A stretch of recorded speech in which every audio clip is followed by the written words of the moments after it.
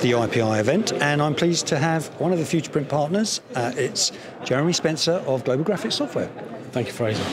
Good to see you, Jeremy. And um, when we were talking a little bit earlier, I was just asking you, in terms of what you guys are doing this year, what, what particular innovation are you, you know, you're holding up as your kind of example of something you're doing that's, okay. that's a bit different? Okay, so um, 2022 is quite a step forward for us. Mm-hmm. Uh, we're launching here um, the Smart DFE mm-hmm. for the industrial sector, uh, Industry 4.0 mm-hmm. and PCUA compatible, and we've seen a an uplift in high resolution, high data rates and also communicating to other parts of the process. Mm-hmm. And, and, Smart DFE really encompasses that in one uh, solution, OEM solution, that can be customized per device. Mm-hmm. Yeah.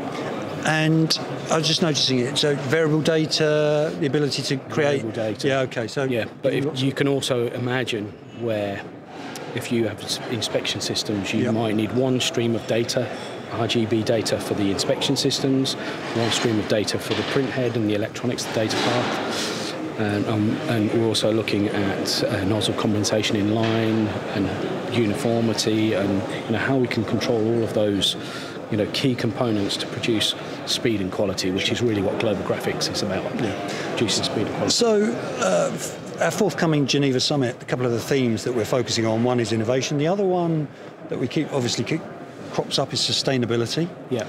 Um, what do you guys, how do you see that and how important is that to you as an organisation? As an organisation, um, sustainability is very important for us, and Mike, our CEO, will be speaking about that at the conference.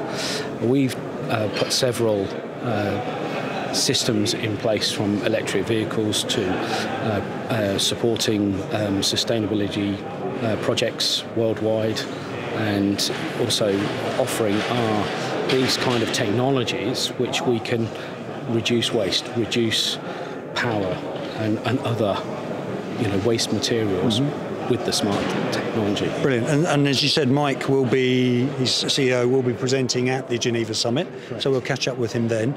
Jeremy, great to speak to you. Thank you very much for joining me. Good to hear what, uh, about those innovations, and looking forward to seeing Mike present about sustainability at the Geneva Summit in a few weeks' time. Fantastic, Fraser. Thank Thanks you. very much.